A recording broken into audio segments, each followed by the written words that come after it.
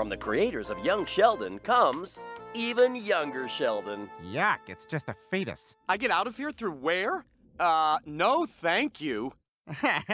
okay.